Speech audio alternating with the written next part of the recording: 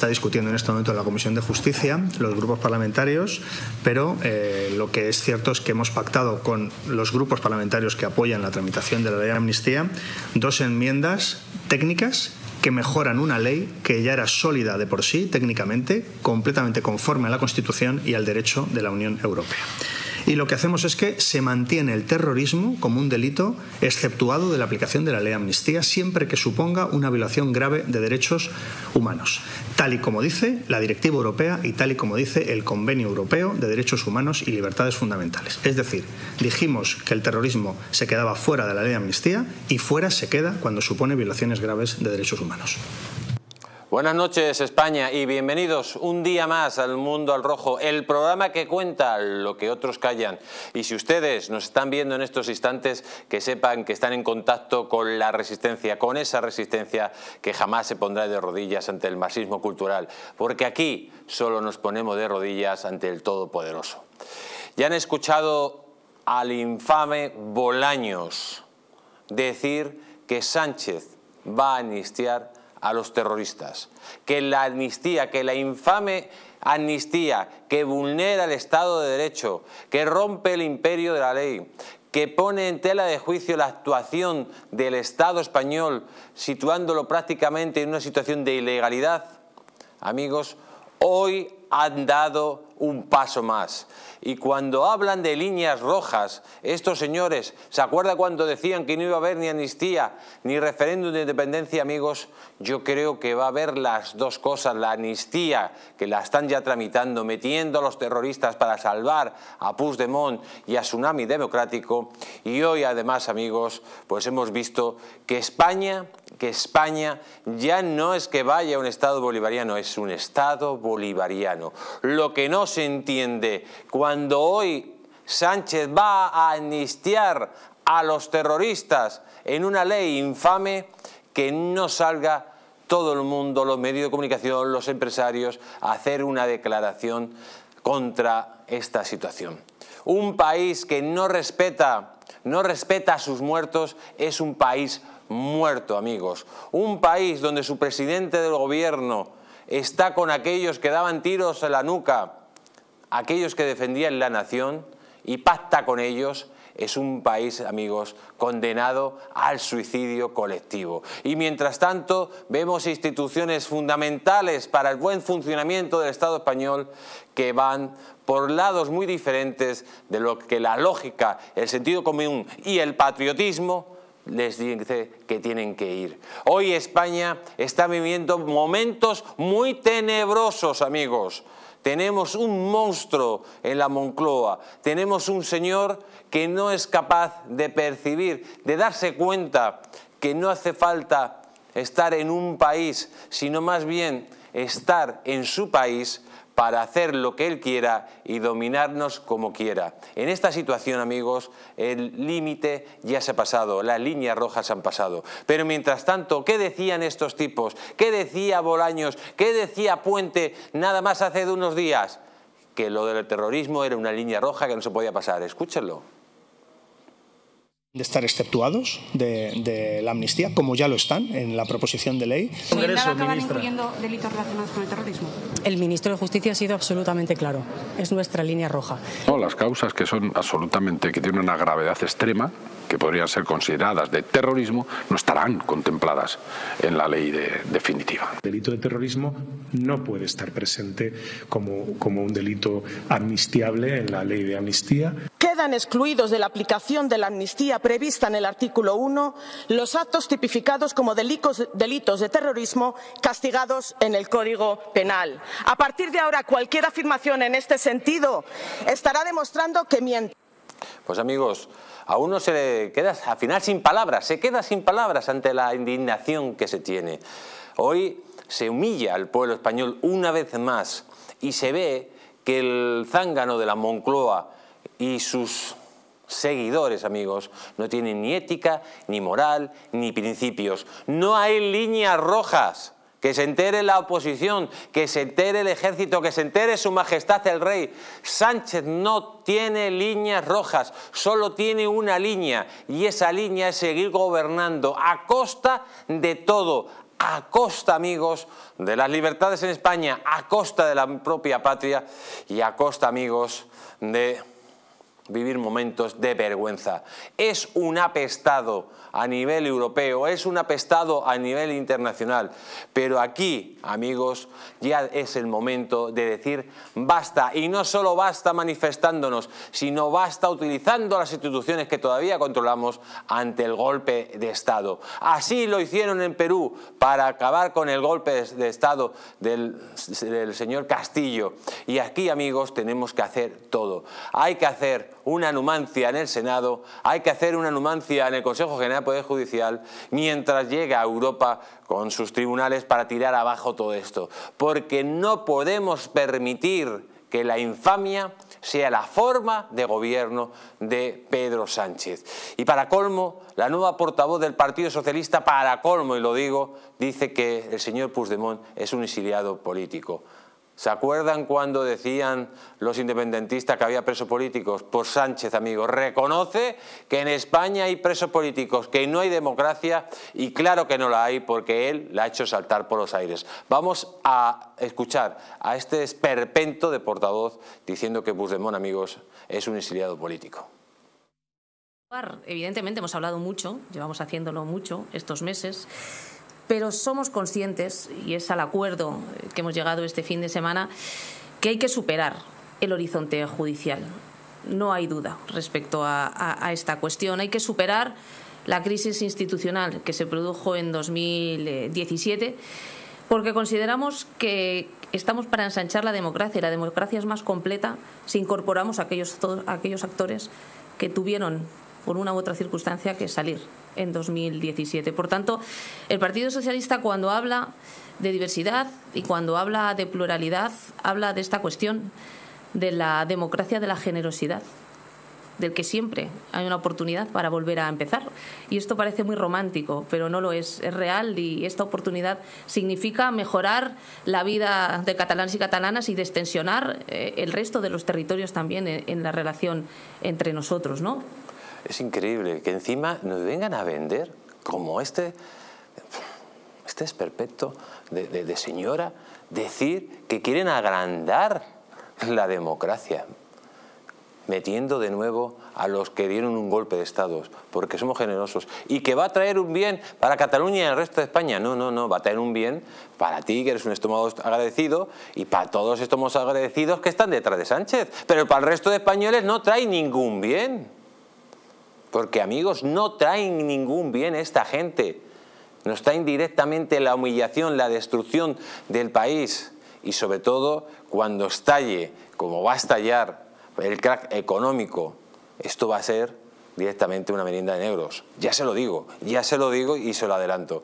Pero hoy que se hacía un homenaje a Gregorio Ordóñez en los famosos jardines que hay aquí en Madrid, pues Ayuso les ha dado un auténtico repaso a estos señores, diciéndoles claramente que Sánchez amnistía a aquellos que ponían de luto a los del Partido Popular. Escúchenla. Mientras Sánchez vota a quien nos puso de luto. Esta es la indignidad que soportamos en 2024. A eso Sánchez lo llama convivencia, yo lo llamo indignidad. En este homenaje a Gregorio Ordóñez no encontrarán a los que se apoyan en los terroristas, no verán a quienes sostienen que lo mejor sería hacer como si no pasara nada, tampoco a los que hablan de conflicto, como si dos discutieran en un mismo plano, y tampoco aquellos que, faltando a la verdad y a la historia, han, entregado Pamplona a Bildu.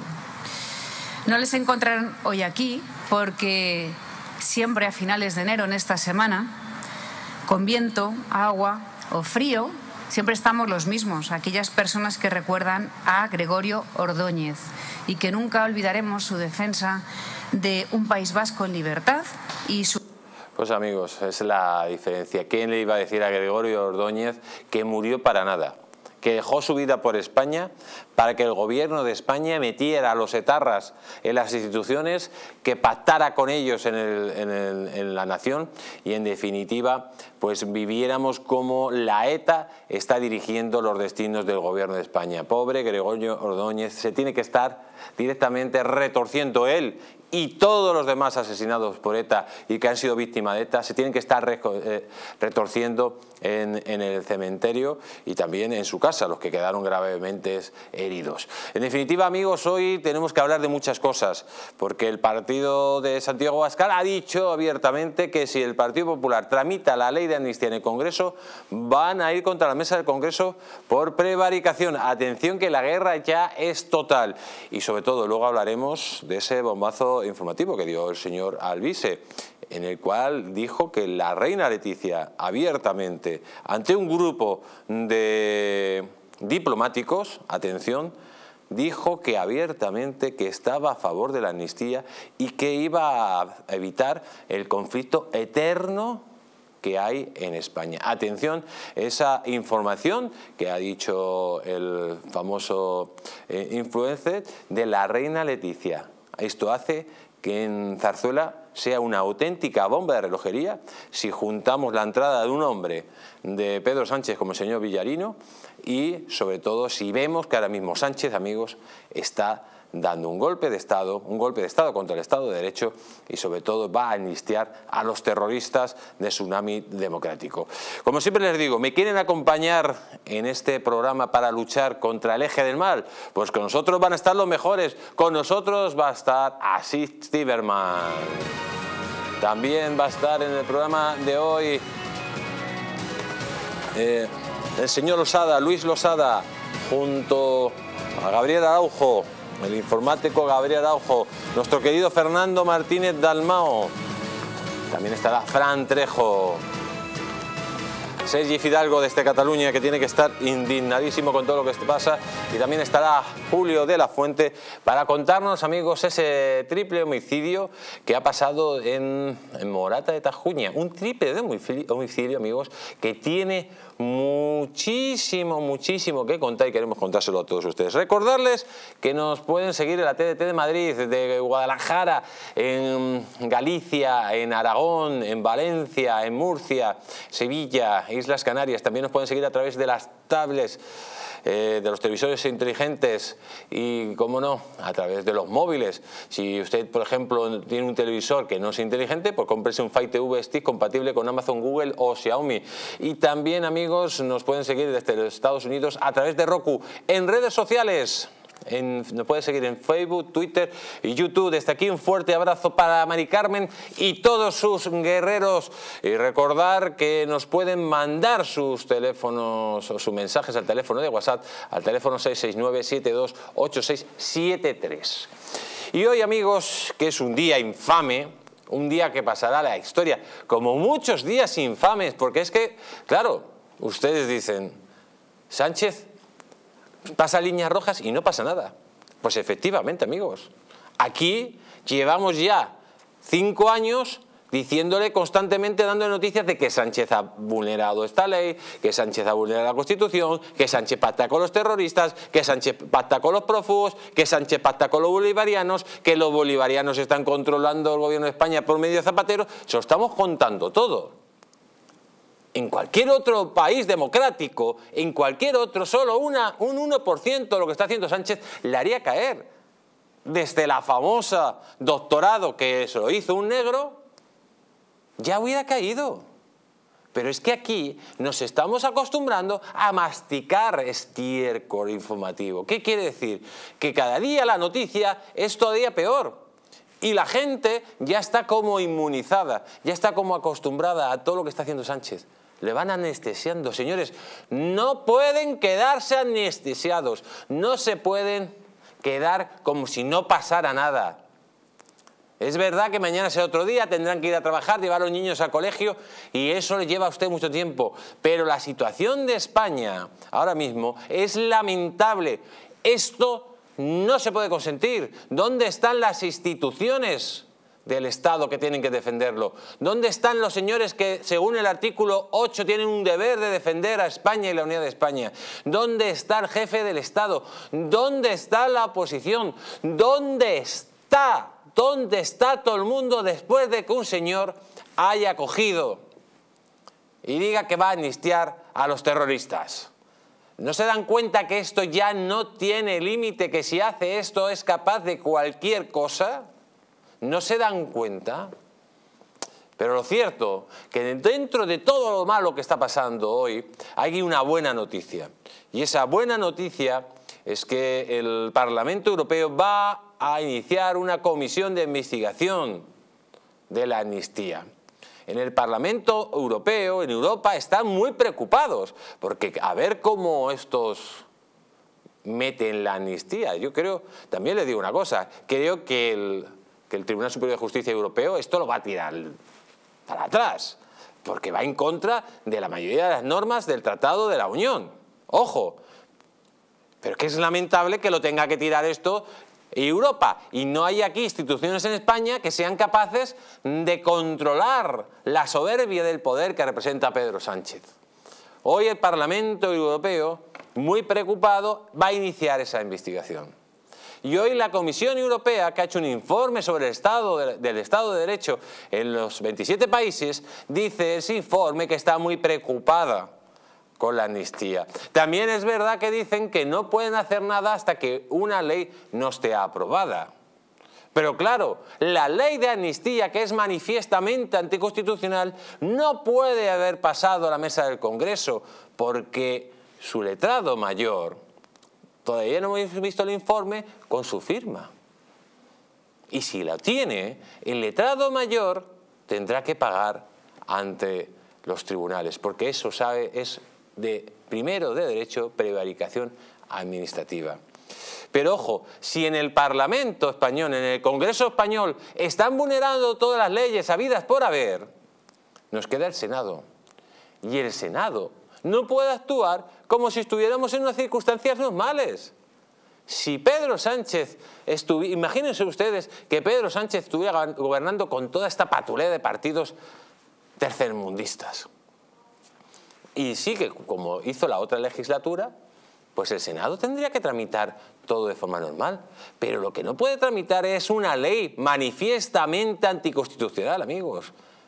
Que es el principio, si se aprueba esta ley, si se aprueba esta ley, si se pasa esta línea roja que todo indica que se va a pasar, es el fin, el fin del régimen del 78, el fin del Estado de Derecho y el fin de la España que ustedes y yo conocíamos hasta el día de hoy.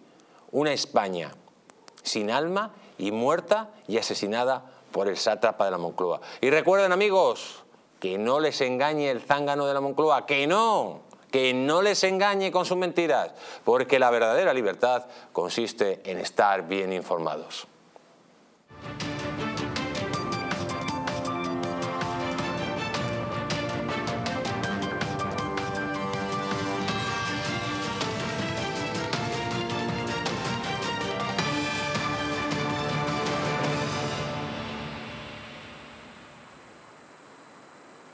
Pues vamos a seguir con este día infame, un día para la historia, pasará como un día infame. El acuerdo eh, ya entre el Partido Socialista, Junts y Esquerra para blindar el terrorismo en la amnistía. Ojo al dato, para blindar el terrorismo en la amnistía y para blindar a Puigdemont. Esto no se hacía desde la Edad Media, desde la Edad Media ¿eh? cuando los señores feudales y el rey hacía lo que le daba la gana para, y aplicaba la ley según le daba la gana. Esto es lo que está pasando hoy en España. Es derecho de autor, al estilo de los nazis directamente. Derecho de autor es lo que se está aprobando en el Parlamento español. Pero vamos a escuchar el siguiente reportaje que nos va a poner un poco en situación antes de que entre nuestro querido compañero don Luis Losada. El Partido Socialista, Sumar, Esquerra Republicana, Bildu, PNV, Junts per Catalunya y Podemos han acordado excluir del proyecto de ley de amnistía los delitos de terrorismo siempre y cuando de forma manifiesta y con intención directa hayan causado violaciones graves de derechos humanos, lo que permitiría amnistiar a los 12 miembros de los comités de defensa de la República y a los 10 encausados por los disturbios presuntamente promovidos por Tsunami Democratic, que han sido investigados terroristas en la Audiencia Nacional. Así lo han pactado en el marco de la Comisión de Justicia del Congreso, donde Junts ha defendido que las enmiendas pactadas con el Partido Socialista a la ley de amnistía están dirigidas a evitar que el procés sea calificado de terrorismo. Tractar l'independentisme català com terrorisme és una aberració jurídica i una politització de la justícia que aquesta llei també ha de revertir. Desde el gobierno mantienen su posición. Fuera ha quedado. El terrorismo está exceptuado de la aplicación de la ley de amnistía cuando sea una violación grave de derechos humanos. Esa era nuestra línea roja, esa es la línea roja y así se ha eh, hoy decidido y se ha pactado. E inciden. Lo que se ha hecho con el artículo es, a su juicio, mejorarlo y reforzar su seguridad jurídica. Pues amigos, esto es un vídeo resumen de, de, lo que ha pasado hoy, de, de, cómo justifican esta gente pues esta aberración, este insulto a las víctimas del terrorismo y sobre todo que digan que es que van a indultar aquel terrorismo que no afecta a los derechos fundamentales, que acto terrorista no afecta a los derechos fundamentales. Es que el chivato que le ha dicho al otro que mete un tiro a la nuca no ha afectado a la vida y los derechos fundamentales del que ha sido asesinado exactamente igual. Tenemos al otro lado de Sky a don Luis Losada. Buenas noches, don Luis, ¿cómo está usted? Hola, Jesús Ángel, ¿qué tal? Muy buenas noches, saludos a todos. Eh, ¿Cómo calificaría hoy usted este día, después de que dijeran los socialistas que no se van a pasar todas las líneas, ni las líneas rojas, y hoy directamente han blindado los delitos de terrorismo en la amnistía? Bueno, día aciago, la verdad, día para la historia, día para recordar. Hubo un 23 de febrero y hay un 23 de enero. Un 23 de enero que será recordado en la historia como el día de la infamia, de la, traición. Cuando las líneas rojas se convierten en líneas naranjas. Porque hay que recordar que hace dos días, tres días, dirigentes del Partido Socialista como Pilar Alegría, como Óscar Puente, eh, habían dicho que el, delito, el propio Pachi López, habían dicho que los delitos de terrorismo eran líneas rojas. Bueno, pues hoy pasadas apenas horas de aquellas declaraciones, se lo han comido. Y, entonces tratan de justificarlo diciendo que los círculos son cuadrados. No, es que hay dos tipos de terrorismo. Los terrorismos que afectan gravemente a los derechos humanos y otros terrorismos. Ah, ¿es que existen terrorismos que no afectan a los derechos humanos? Sí, los que le permiten permanecer en la Moncloa. Es exactamente esto de lo que estamos hablando. Ahora, Jesús Ángel, yo creo, en mi opinión, que en el, en el pecado llevan la penitencia, porque al meter esa añagaza dentro de la ley de amnistía, en Bruselas ya sí que no va a tragar. Porque en Bruselas hay dos líneas rojas y esas sí que son líneas rojas, que son terrorismo y malversación de fondos, especialmente europeos. Y en los dos casos están afectados. Por lo tanto, me parece que dentro de la, dentro de la indignidad, de la traición, de la vergüenza que es la jornada de hoy, me parece que hay un punto de esperanza y es que al pasarse de frenada porque esto ha sido una pasada de frenada por parte de los separatistas y una traición por parte del presidente del gobierno que no tiene competencias para ceder algo tan importante como esto, me parece que van a tener también su penitencia eh, vía Bruselas. Eh, don Luis, está muy bien y yo creo, confirmo su, opinión en el sentido de que creo que Bruselas va a ser la que pare esto, pero qué lamentable, qué país tan lamentable tenemos cuando aquí las instituciones no funcionan para controlar a un señor que está dando un auténtico golpe de Estado en estos instantes, que está utilizando el Parlamento a su antojo, que se pasa los eh, informes de los letrados a su antojo, que se pasa la normativa del Parlamento a su antojo y que luego ha ido fagocitando todas las instituciones y ahora mismo el Estado de Derecho está en tal debilidad que un señor con 121 escaños es capaz de darnos un golpe de Estado con la ayuda de terroristas, prófugos y comunistas. Sí, el problema, Jesús Ángel, es que ha habido una cooptación por parte de todas las instituciones del Estado, de manera que, desgraciadamente, la situación institucional en España es de una enorme pobreza, de una enorme debilidad. Por eso, aunque el Partido Popular hoy ha, amagado y luego ha rectificado diciendo que el problema en España se llama Tribunal Constitucional presidido por Conde Pumpido, en mi opinión es verdad, porque eh, eh, resulta que el Tribunal de Garantías no es nada garantista. Resulta que cuando se apela al Tribunal de Garantías diciendo, oiga, esto es inconstitucional, todos sabemos ya, todos sabemos ya que no va a haber un examen de constitucionalidad, sino un examen de lealtad que no es lo mismo. Y luego yo creo que es extraordinariamente grave observar cómo el gobierno desacata al Tribunal Supremo un día sí y otro también. Hoy mismo el, el, gobierno ha desatendido la condena del Supremo de los, de los sucesos eh, en Ceuta y Melilla con los inmigrantes ilegales, que el Supremo dice claramente que fueron ilegales, que fueron en contra de la ley de, la, de la legislación de inmigración. Bueno, pues resulta que Pilar Alegría hoy en Consejo de Ministros, en la mesa de Consejo de Ministros, dice, vuelve a insistir en que es legal. Oiga, que no, que el Supremo ya le ha, dicho que no. Y por lo tanto el Supremo es Supremo, no hay más palabra. Bueno, pues se permite el Gobierno desde la mesa del Consejo de Ministros desacatar al Supremo en público. A mí me parece de una gravedad extrema. Y, entonces, ¿quién frena ese, desacato y ese deterioro institucional? Pues, en mi opinión, los únicos que lo pueden hacer son, son Bruselas. Y vuelvo a insistir, me parece que en el pecado llevan la penitencia. Al haberse pasado de frenada, esto es como a las siete y media. Se van a quedar con nada. Pues, eh, don Luis Losada, eh, esperemos que tenga usted toda la razón del mundo y, como siempre, darle las gracias por haber estado aquí en el Mundo Rojo. Reciba un gran abrazo. Gracias a ustedes, un abrazo a todos. Y amigos, es, verdad, la verdad que se han pasado de frenada porque lo de hoy, lo de hoy es un día de escándalo. Si ya hemos visto de escándalo cuando el PSOE pactaba con Bildu, le metía en, Pamplona, o Bildu directamente controla las acciones de, de Sánchez, lo de hoy, meter en amnistía al terrorismo es un escándalo sin precedentes. Vamos a escuchar, vamos a escuchar al señor Tellado, que habla abiertamente que un gobierno que ampara terroristas no tiene cabida en una democracia moderna. Vamos a escucharlo. Una vez más, a una nueva cesión del Partido Socialista frente a Junts y desde luego creemos que la situación es francamente dramática lo que está sucediendo en nuestro país. Un gobierno que ampara terroristas y que al mismo tiempo ataca a los jueces no tiene cabida en una democracia moderna como la nuestra el gobierno se ha convertido en un auténtico problema y por eso le exigimos al Partido Socialista que suspenda la tramitación de esta proposición de ley, porque esto es un error histórico que nuestra democracia no se puede permitir. Ya está bien. Es evidente que el Partido Socialista ha perdido la poca dignidad que le quedaba y hay que decirle que ya está bien. Si algo sabemos en España lo que es, es el terrorismo. Lo hemos sufrido durante mucho tiempo. Y España no merece un gobierno que está dispuesto a indultar a perdonar, a amnistiar a terroristas con tal de seguir en el poder todo el tiempo posible.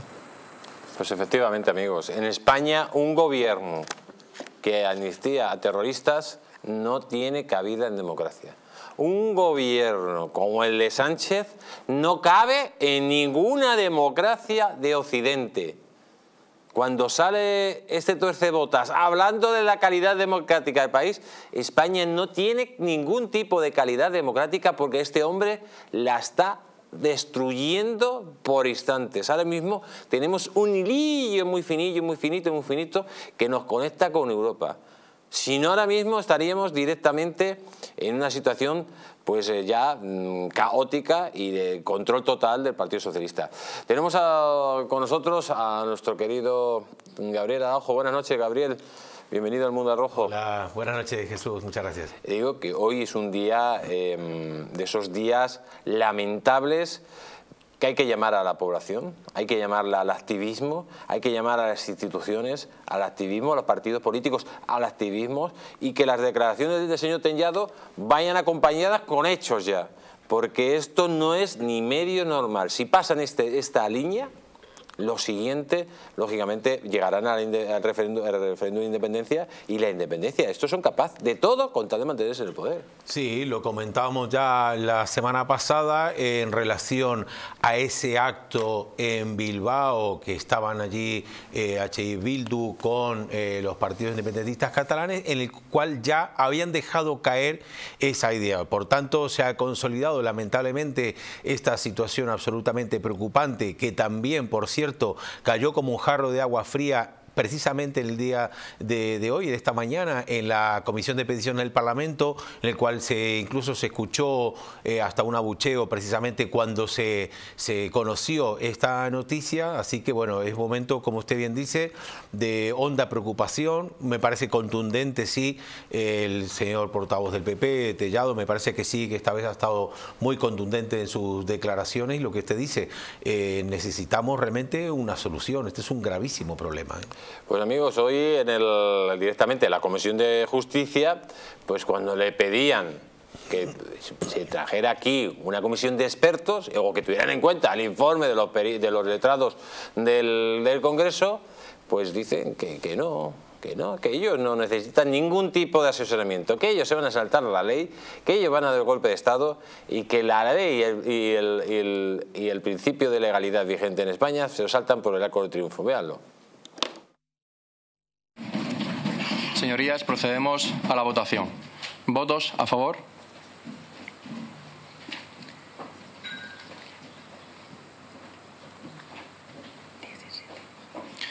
¿Votos en contra?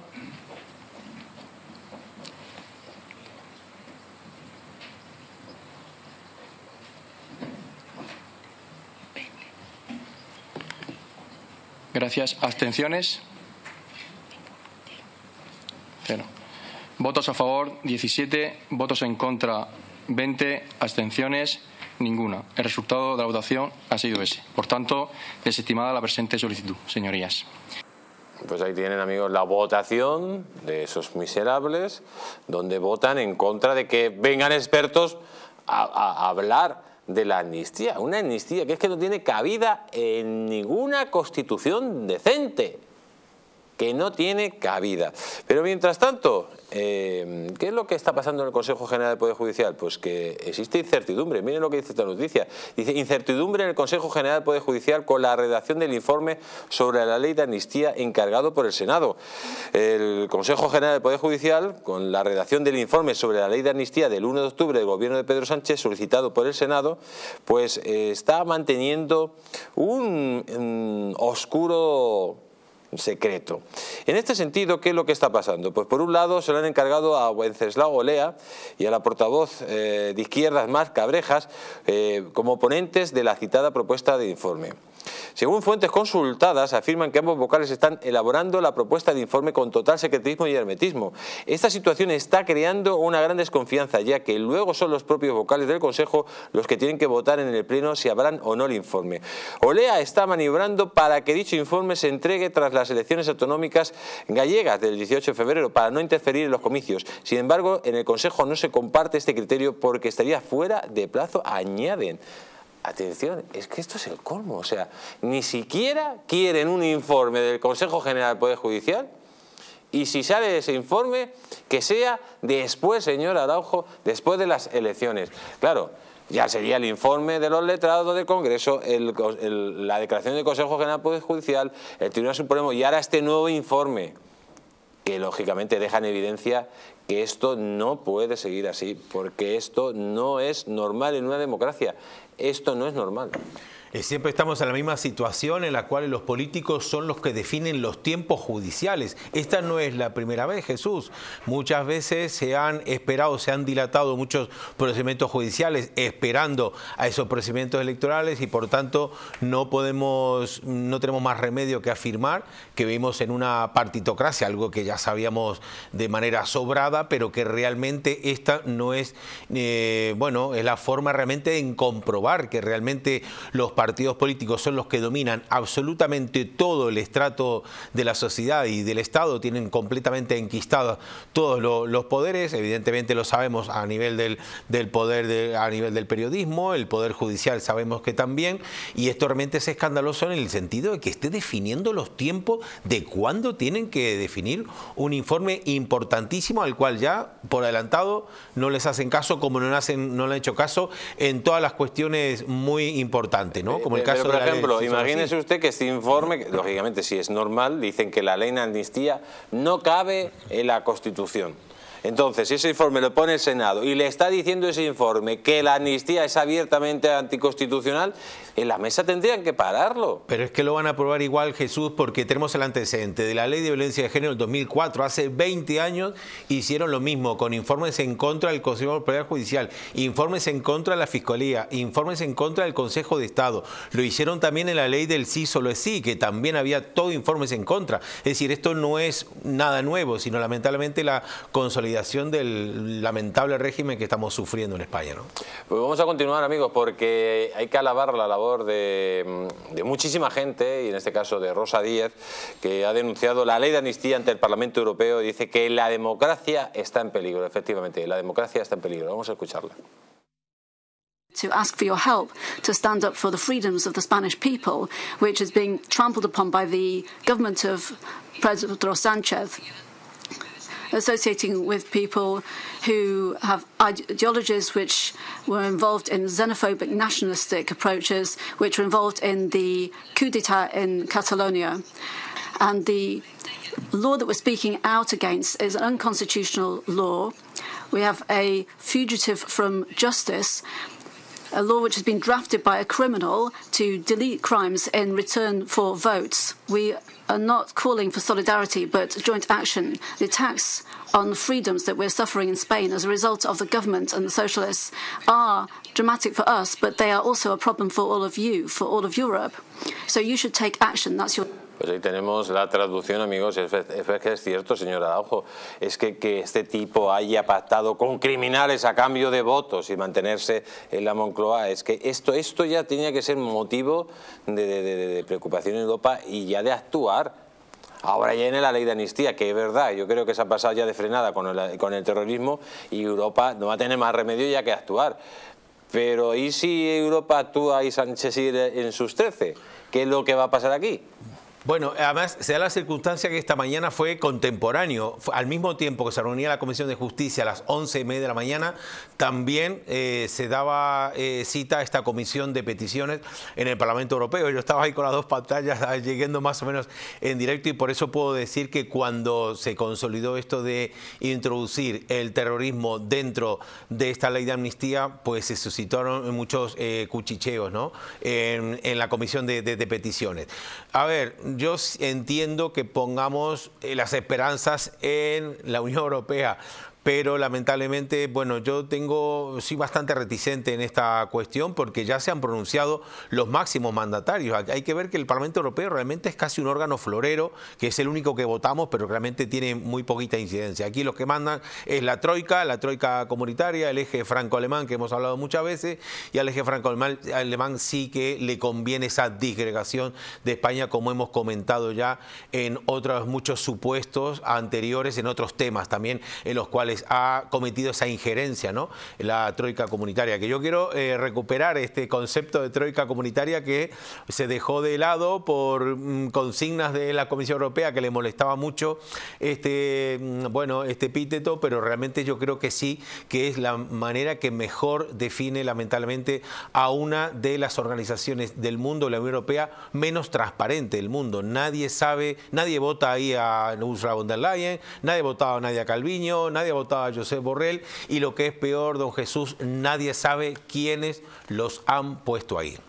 Pues vamos a continuar amigos porque atención que en todo este follón algo tendrá que decir el jefe de Estado. Dice la noticia, Sánchez no ha explicado al rey los pactos cruciales con Junts que alterarían la Constitución.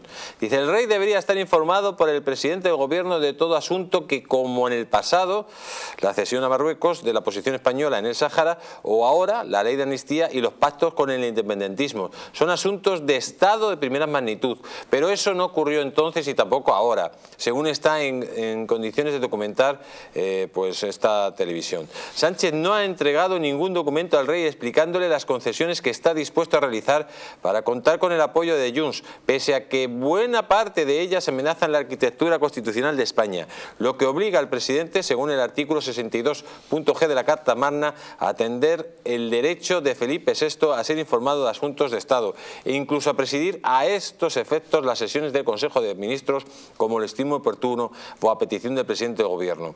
Nada de esto ha ocurrido, según y confirma la propia Moncloa en un documento que ha cedido el debate, firmado el 17 de enero por la directora del Departamento de Coordinación Técnica y Jurídica de la Presidencia del Gobierno, Beatriz Rodríguez Pérez. En el mismo se reconoce literalmente que la ley de amnistía, las reuniones en el extranjero con Puigdemont, la aceptación de un verificador internacional o la posibilidad de celebrar referendos de independencias no están relacionados con las competencias de la presidencia del gobierno desplazando la responsabilidad al PSOE para salvarse a Sánchez de seguir el camino institucional lleno de obstáculos, incluido eventualmente al propio rey de ser consultado, informado o incluso invitado a presidir una reunión del Ejecutivo.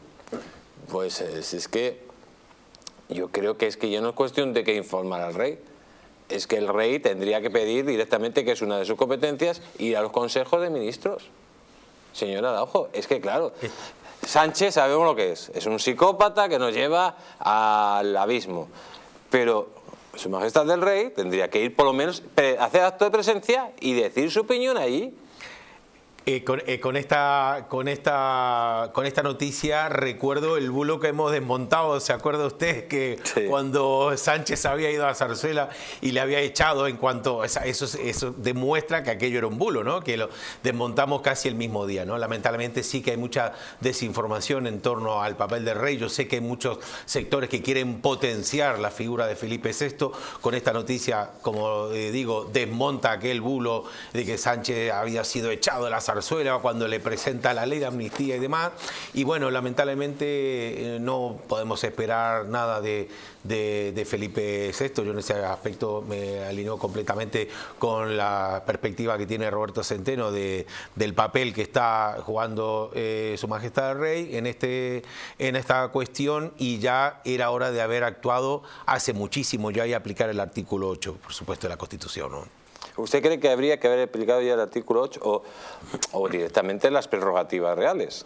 Claro, es que esto es precisamente, eh, tiene que tener un fin preventivo. Cuando vemos a alguien que va a apuñalar, no esperamos a tener el cadáver para actuar, sino que lo paramos antes, porque tiene que tener la, ley y el Estado de Derecho, de Derecho tiene que tener un fin preventivo. Esto es y prevenir que no estemos en esta situación y sobre todo hacer el ridículo tan espantoso que la diputada francesa hoy en la comisión, yo lo he visto, la, del Partido Republicano, estaba escandalizado en su intervención con respecto al tema. Dice que si le la ley de amnistía sigue adelante, la Unión Europea no tiene ningún sentido. Esto lo ha dicho literalmente la diputada francesa, no me acuerdo el nombre, del Partido Republicano. Yo me quedé sorprendido porque sí que fue contundente, a pesar de que hablo de ese eje franco-alemán, sinceramente esta diputada francesa sí que fue muy contundente en sus apreciaciones contra la ley de amnistía. ¿no? ¿Y qué opina ahora que su majestad el rey haya puesto de jefe de la Casa Real a Villarino, un tipo que viene del Partido Socialista? Bueno, está, está viviendo ahora mismo eh, la la, Casa Real unas circunstancias muy especiales por todo lo que se ha revelado aquí en este programa, por lo que estamos escuchando con respecto a esas cuestiones conyugales, ¿verdad?, entre el rey y la reina consorte, así que eh, hay una tormenta que es evidente que está ocurriendo intramuros ¿no? en, la, Casa Real. Y esto es, un, yo creo, una consecuencia ¿no? de, de, esa, de esa tormenta. ¿no? Mm. Pues vamos a continuar porque la Eurocámara ha encargado atención a las comisiones de Justicia y Economía que examinen la ley de amnistía.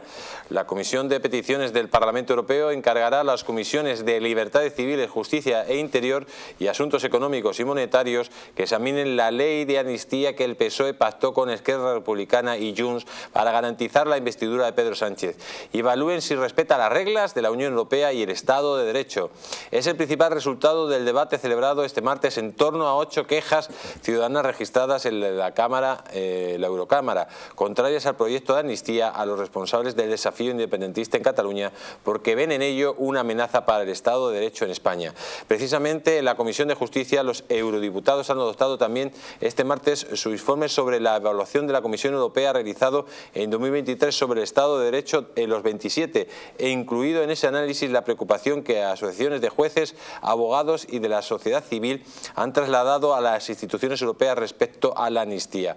Aunque en su última evaluación sobre el Estado de Derecho en la Unión Europea, Bruselas, no trató la cuestión de la amnistía, el informe adoptado ahora por los eurodiputados del LIBE sí recuerdan que más recientemente los servicios comunitarios han escrito al Gobierno para pedir explicaciones y consideran que el caso merece una investigación independiente.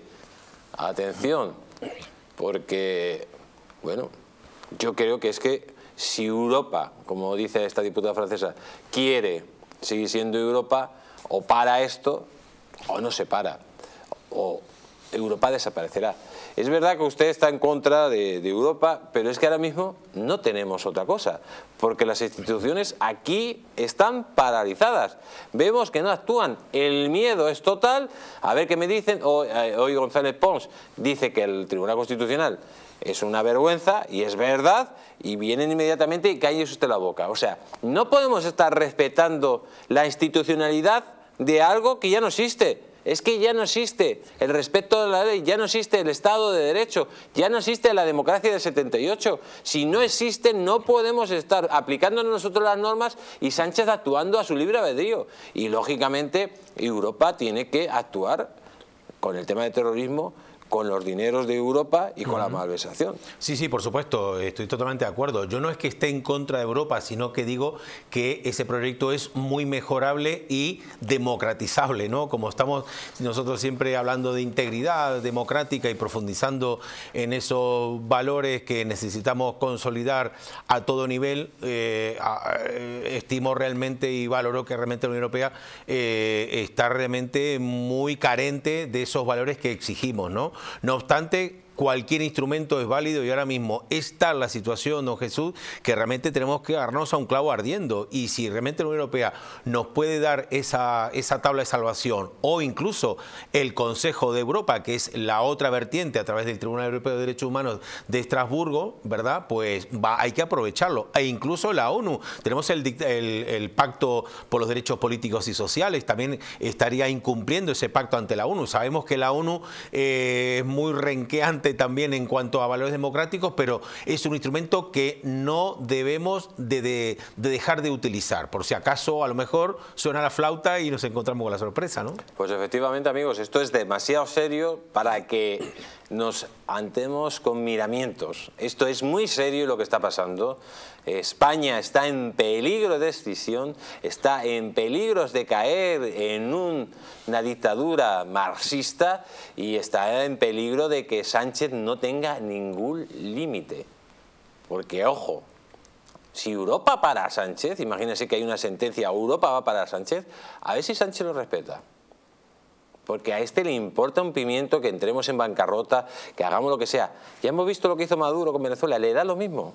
Los psicópatas son así. Mientras tanto, vamos a hacerle unas recomendaciones a todos ustedes, amigos, para esos fines de semana largos, largos, largos, donde ustedes toman una copa de más y al día siguiente se levantan con una resaca terrible. Pues, ¿qué es lo que hace nuestro querido amigo el señor Araujo? Señor Araujo, usted toma, está de todos. Hombre, está de todos, por supuestísimo. Sí, sí, sí. Y además se levanta al día siguiente, se peina y vuelve a salir y, bueno, puede incluso hasta repetir. Está de todos, amigos, lo podemos encontrar en naturhaus.es, en su tienda más cercana, o llamando al teléfono 918331335. Y nos vamos a publicidad. No se vayan, amigos, porque vamos a hablar de la guerra total que acaba de declarar vos al Partido Popular le ha amenazado con ir a los tribunales, querellarse contra el Partido Popular, si la mesa del Senado admite la amnistía a trámite. Y también, amigos, vamos a hablar de ese informe del CISA que habla, atención, el CISA, son los servicios secretos eh, americanos, habla del peligro del voto por correo. Espectacular. Y cómo no, también hablaremos, amigos, hablaremos de lo que está pasando con las subvenciones de los partidos políticos. Un descaro total. Cómo reciben subvenciones y esas subvenciones, en vez de gastárselas los grupos parlamentarios, se las inyectan al partido de turno. Y hay un partido, amigos, que, madre mía, paga más dinero supuestamente a sus empleados que ninguno. Si quieren saberlo, todo esto lo van a ver después de publicidad. No se vayan, porque si no, nadie, nadie se lo va a contar.